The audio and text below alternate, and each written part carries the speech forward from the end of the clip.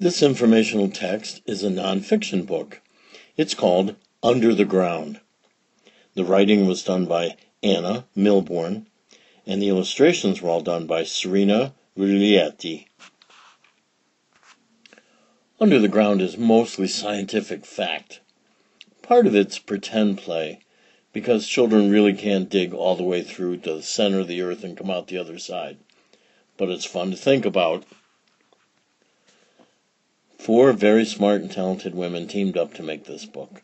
The book was edited by Gillian Doherty.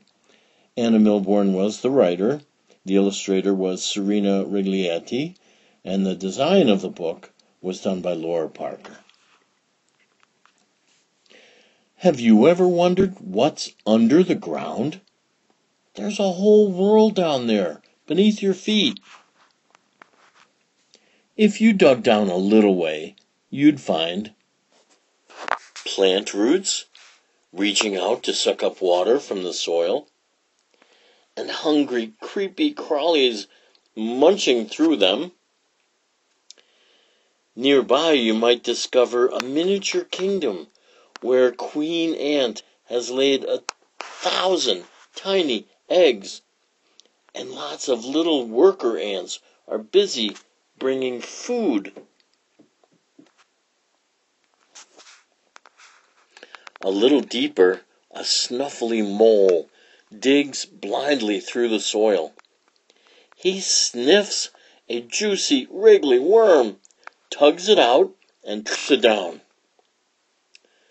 Running away from a fierce fox, a rabbit leaps into her burrow, where her family is cuddled up safe and sound. If you dug a little further, you'd see hundreds of crisscrossing pipes. Some bring electricity to light up all of the street lamps, and some bring clean water to each and every house. Other pipes carry dirty water away from toilets, sinks, and baths. Robots crawl through them to make sure none have sprung a leak. There's a rumble in the tunnel, and a train zooms by. Lots of trains rush around under the bustling streets of the city. They carry people from station to station all day long. Deeper still, there's solid rock, patterned with stripes and swirls. Buried in the rock are the twirly shells of animals that lived long ago, and a ferocious dinosaur's big old bones. They've been there so long that they've turned to stone. As water seeps through the ground, it wears away the rock.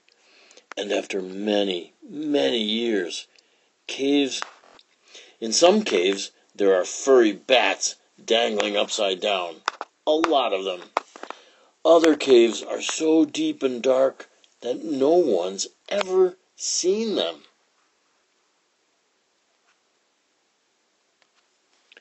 Miles underground, Twinkling silver and gold are hidden inside the rock.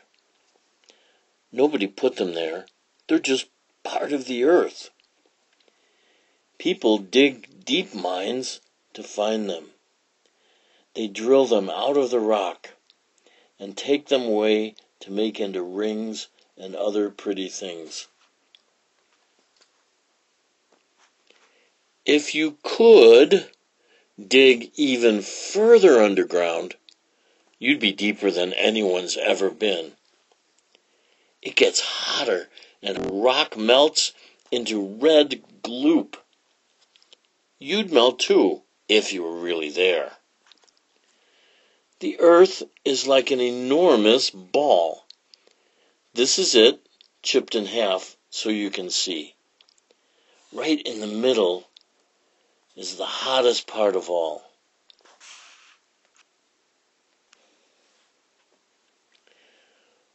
What do you think you'd find if somehow you could keep on going? You dig, dig, dig through stripy rock and bat filled caves, past snuffly moles and tangled roots, and after that, you'd pop out the other side of the world on someone else's lawn, where they were busy wondering what's under the ground. The end. And if you have a globe that you can put your hands on, put your one hand where you live.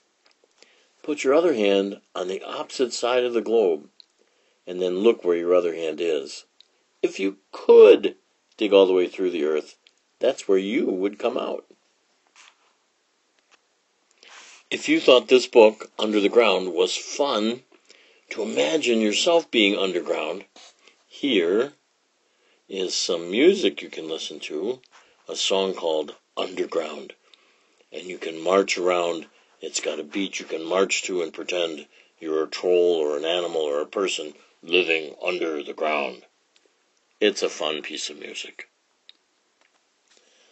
Designed by Laura Parker, edited by Gillian Doherty, this science book for young learners has been Under the Ground. All the writing was by Anna Milbourne, and the illustrations were by Serena Riglietti. Here are a couple of photographs of Serena, the artist, and um, an image from her illustrations of the Harry Potter books.